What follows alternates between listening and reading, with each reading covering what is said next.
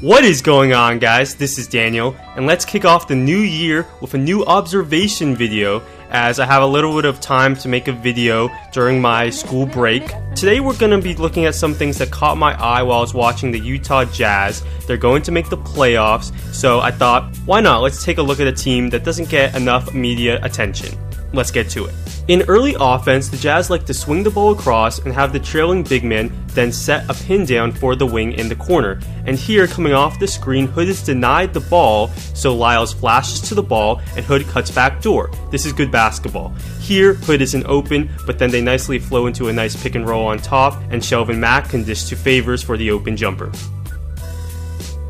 Now usually the man coming off the down screen will be open, no problem. So here when Exum comes off the down screen, the Jazz can execute one of a few options, and here what they'll do is simply flow right into a high pick and roll, and when the Knicks switch this, Favors has a guard on him, he seals inside, and finishes with the layup. So they'll bring the ball up and go into motion, and here instead of the high pick and roll, they'll set up a double screen for Joe Ingles, and he comes off of it and gets an open three and is fouled.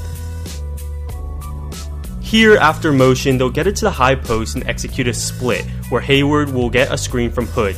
And what Hood should really do here is after setting the screen, slip hard to the basket looking for a backdoor layup. This would work well. He doesn't here, and Hayward turns it over on the drive.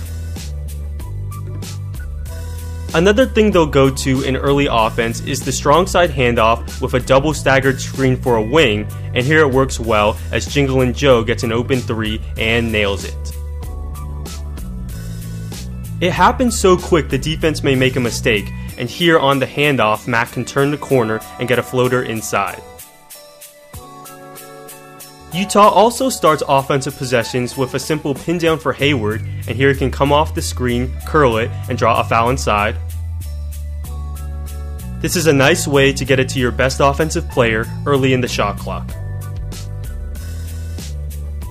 On this play, the Knicks will switch the pin down, and so now Favors has a guard on him, and Utah correctly recognizes this and tries to post Favors up, and it works well as he takes advantage of the smaller defender.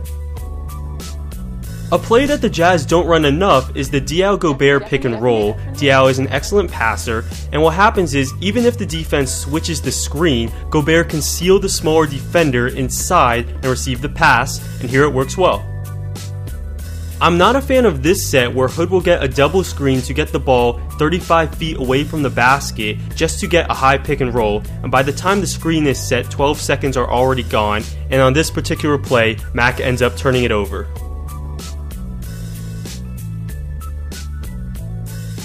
I first saw the Jazz run this play on YouTube a year ago, and I thought it was subpar, but then they ran it against the Knicks, and it's actually a decent play. What happens is Hayward sets a back screen for Hill, and then he'll come up to receive the handoff, and here Hayward gets a wide open three because of it. So I'm thinking, okay, solid play, and here Hayward gets the handoff and drives and gets fouled. But then this happens, so they run the play, and when Hayward comes up to receive the handoff, here they're actually setting up the hammer screen on the weak side to get Rodney Hood an open look at three. Wow, now I really like this play. Moving on, and the Jazz run some nice action for Lyles. Here it looks like Ingles is going to receive a double screen, but in fact, he and Gobert are setting a double screen for Lyles, who hits an open three. Different set, similar action as watch Ingles. He'll come off the double screen and then immediately come back around to help set the screen for Lyles. This is a very simple play, but it can be very effective. It's a guard to guard pick and pop, so here Johnson will set a screen for Hayward, and then Hayward finds Johnson, and they get a dunk out of this very simple play. This time, George Hill is the ball handler and he can drive to the rim and hit a high arcing floater. The best way to defend this play is just to switch the screen, but the Knicks are being so stubborn here by not switching, and Hayward gets an easy pull up jumper. Finally, the Knicks switch, and shockingly, it works as the offense stalls. Utah tries to isolate Hayward, and on this play, he turns it over. The Bulls switch, and this play is really not effective when the defense is smart and switches. and on this play, Utah can't even get a shot off. Definite, definite, definite, definite. I've analyzed this play in the past, and it's one of my favorite plays, and the Jazz run it quite often, which is great. What it is is pretty simple. Hayward will set a ball screen and then receive a flare screen, and here he gets a wide open three. Why does it work so well? Butler is going to show on the initial ball screen, and this gives Hayward a head start, and Lopez is not going to want to get all the way out to the three point line, and this leaves Hayward open for the catch and shoot three. You can adequately defend this play if you ace the switches and if everyone is on the same page, but that's harder than it sounds. And this time Lyles is in Hayward's spot as he receives the flare screen, and this time he drives to the basket and draws a foul. And even when Ingles does not have the catch and shoot three here, they nicely flow into a quick pick and roll, and on the kick out pass, Hood can drive and get a short jumper. This time Lopez does get out there to switch onto Hayward, and now the Bulls rim protector is away from the rim, so Hayward swings it to Lyles, and Lyles can drive with no rim protection. And notice here how the Bulls are so concerned with Hayward that they leave Mack, who drives in for the floater. Now, this is how you do not run this play, as first Mack makes zero contact on the screen. If he even sets a decent screen, Hood may be able to turn the corner. And then here the Knicks will trap Mack, and this is a good thing. All Lyles has to do is wait for the pass, and Utah has a 4 on 3. Instead, he literally runs away from Mack, leaving him stranded, and Mack turns it over. Really, really bad.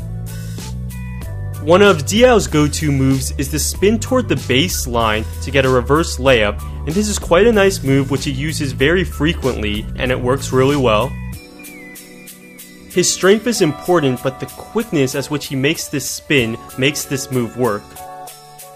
Now the way to stop it is simply to sit on that move. Don't let him spin baseline, and that's what Patrick Patterson does here, not letting him spin, forcing him middle, which results in a much tougher shot.